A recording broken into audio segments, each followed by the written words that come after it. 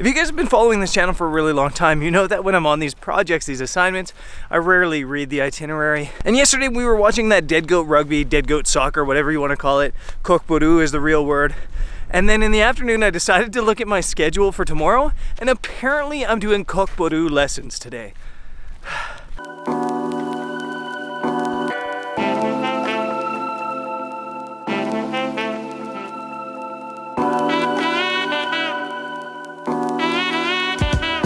We're just making our first stop of the day.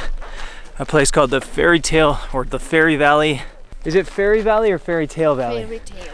The Fairy Tale Valley. And my guide Anna back there says it's called the Fairy Tale Valley because if you use your imagination, all these different like pillars of sandstone, they can look like a dragon or whatever your imagination brings.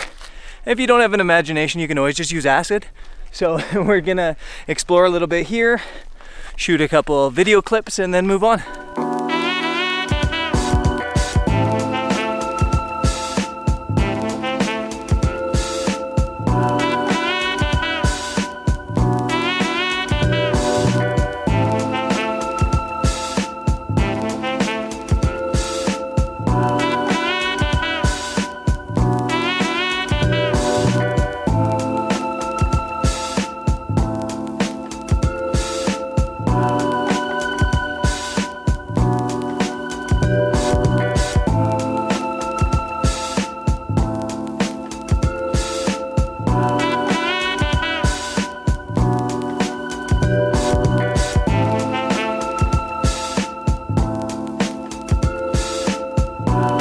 So really cool place, and that was a fun drone flight, but it's Sunday, so it's pretty busy. Lots of tourists, both locals and foreigners, and I had my drone in the air, and another drone came up. If you're about to fly a drone, make sure there's not another drone flying right next to you. Poor form by that guy over there. Um, but yeah, it was a fun drone flight, and then uh, now we're heading to the festival. Actually, to be honest, I'm not really sure what it is. On my itinerary, it says Kok-Boru lessons, but then I'm hearing that we're just watching another game, um, which will be fun as well. I don't really feel like I need to try the sport, but it would be fun to try it, but I don't feel like I need to try to. So if we're just watching it, I'm totally cool with that as well. And yeah, I guess we're headed that way now.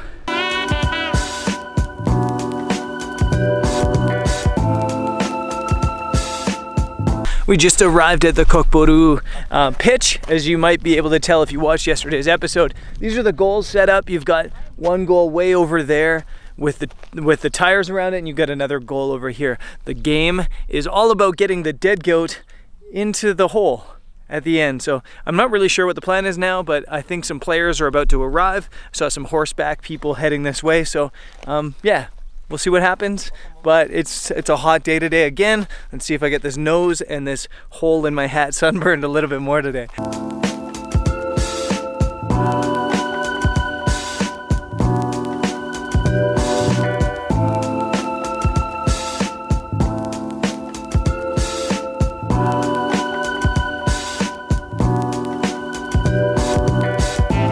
So I just learned the plan and it's interesting. The goat's here, but it's alive.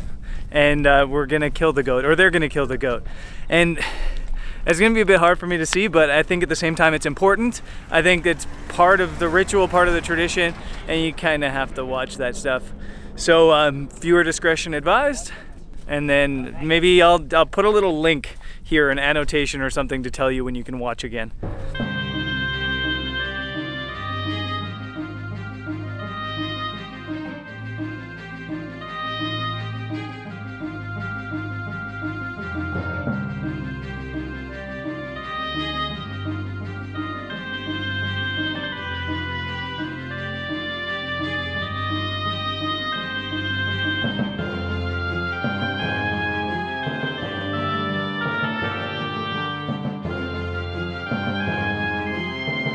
So the goat's dead, and that was maybe even harder to watch than I expected.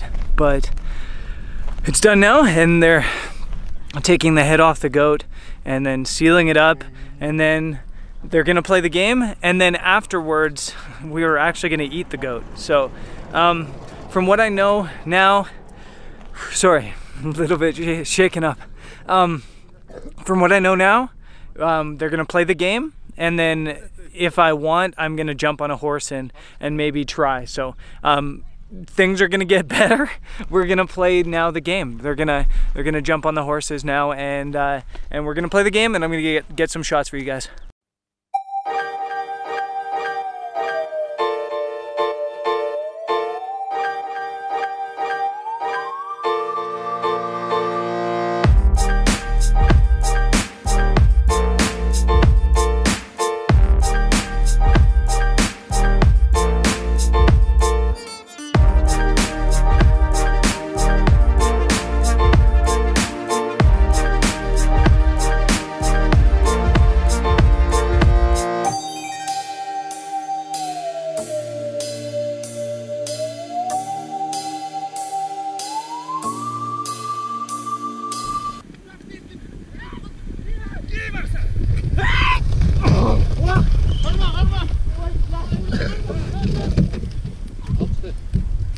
So as I said yesterday on the episode, it kind of turns into rugby a little bit. There's like a scrum around the goat right now as they're all trying to pick it up. And they don't want to just pick it up. They want to pick it up in a way that they can have like a clear cut run at one of the goals.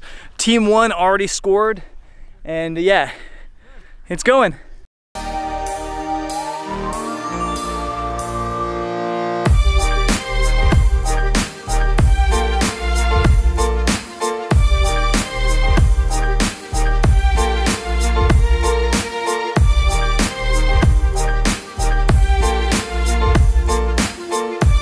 So the yellow team just scored to tie things up. It's 1-1 now. I'm going to actually put away the vlogging camera for a second or a couple minutes and pull out my 70 to 200 millimeter lens and try to shoot some action shots for the photography types out there to do this type of shot, I'm actually gonna put a grad ND filter on to hold in some of the light on top. And then I'm gonna shoot a really fast shutter speed as well, like one one thousandth, just to hold the action in.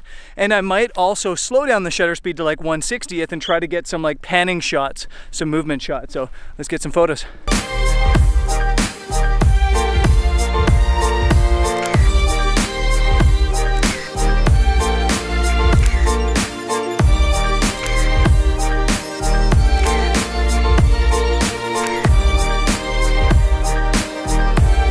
So yesterday's game was kind of put on as a nomad game, was kind of put on for tourists, and to be honest, it was a little bit soft compared to this. These guys went hard. These guys like crushed into each other, or I should say the horses did most of the crushing. I kind of feel bad for the horses as well as the goat, to be honest. Uh, they want me to try, and I'm not the greatest horseman at all, but I'm gonna jump on a horse and they're gonna put the goat on the ground and they're gonna see if I can grab it. I don't think I'll be able to. Anna's got my GoPro and she's gonna try to film from a distance. It's one of those things that you wish you kind of had a videographer with you all the time so they could film things like this, but we're doing what we can here, so I don't think I'm gonna be able to grab the goat, but we're gonna try.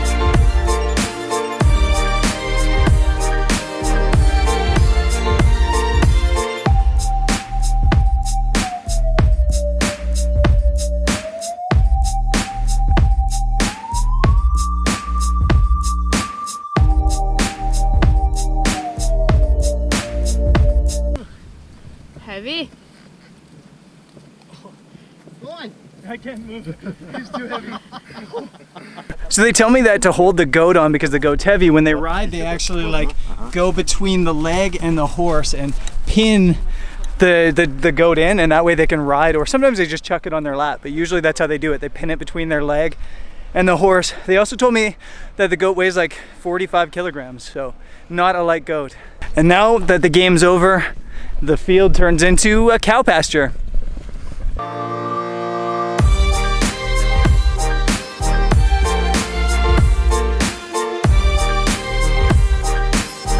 Now the game's over, we've driven into like this beautiful valley here.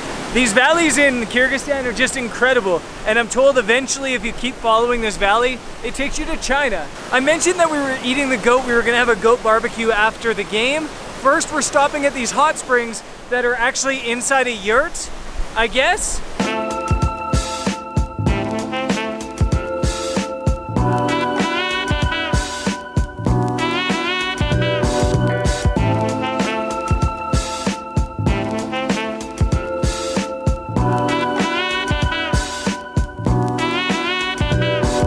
So we arrived at the Kyrgyz house where we're having lunch.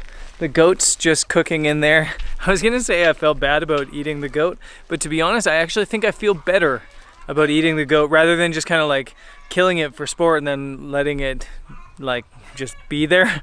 Um, I think I feel better about actually using it and eating it. Kind of like if you're um, hunting just for sport, for trophies. I'm not really cool with that, but if you're hunting for, you know, for food and for nutrients, that's I'm all right with that. Um, traditionally, they'd cook the goat with like potatoes and other vegetables in the ground, underground with hot stones, but right now they're doing it in uh, in this oven. And probably shouldn't say this, but I guess maybe our um, our football match with the goat tenderized it, maybe.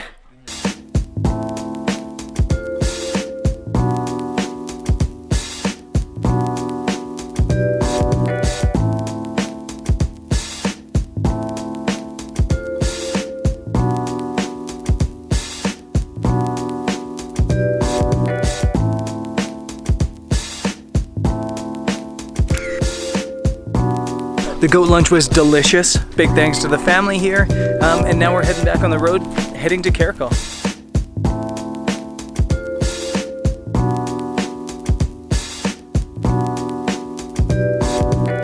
So I made it here to Karakol, which is like the center, the hub of uh, tourism really in Kyrgyzstan for, for a lot of things, especially trekking. So from now on for like the next two weeks, I'm doing treks. Some of them are like day treks. Like tomorrow I'm going on just a four hour trek in the middle of the day and I'm doing like three day overnight treks as well. And they're all kind of based here in Karakol. And I'm excited to be here. Um, before I end this vlog, I kind of just wanted to talk quickly about about uh, Kok-Boru and about playing a sport with a dead goat. I think it's really important for journalists and I think people in general to try things without judgment.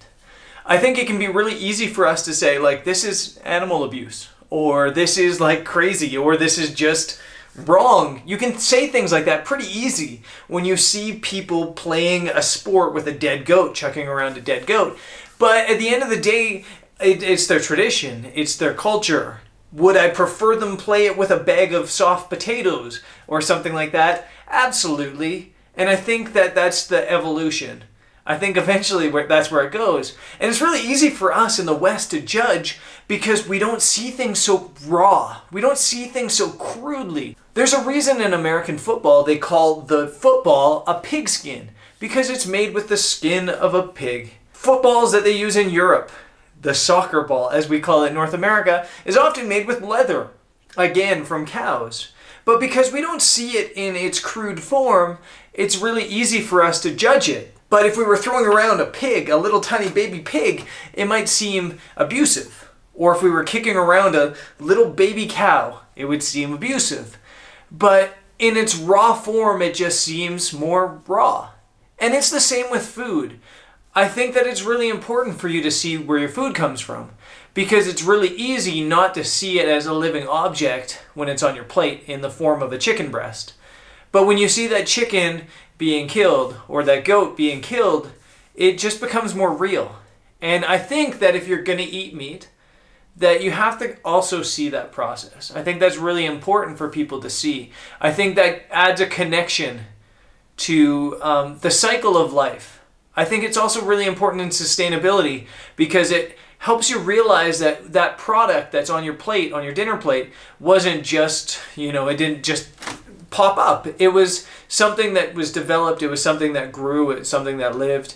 And I think that you would respect your food a lot more if you saw it being killed. I think food waste in general is something that's really um, troubling to me. So I think North American viewers, for example, might have been a little bit appalled by the goat soccer. But they ate the entire goat. They, nothing went to waste at the end of it. Whereas I've been on cruise ships and I've been in restaurants where people just chuck out insane amounts of food because I don't think they have the same respect for it because they haven't seen it as a living object. I, they haven't seen it being killed and they don't have that same value to it. So on one end, it seems kind of primitive here to see that happening, but on the other end, it's also very real and it adds that realness and rawness that I think we kind of need in our world to have more of a sustainable world and to respect our food and our environment a little bit more. So it's kind of a, a tough, not a dilemma, but it's a tough situation to kind of analyze. And it's been an interesting day for me. Um, it was tough watching the goat being killed because it was it was living right there, and then it just like the knife just like took its life, and it was like screaming, and the blood.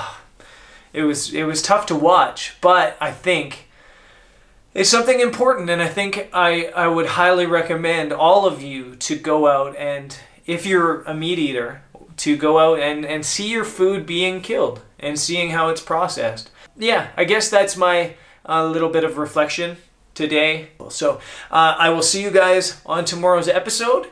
And yeah, I guess that's it from here in Kyrgyzstan today. Peace.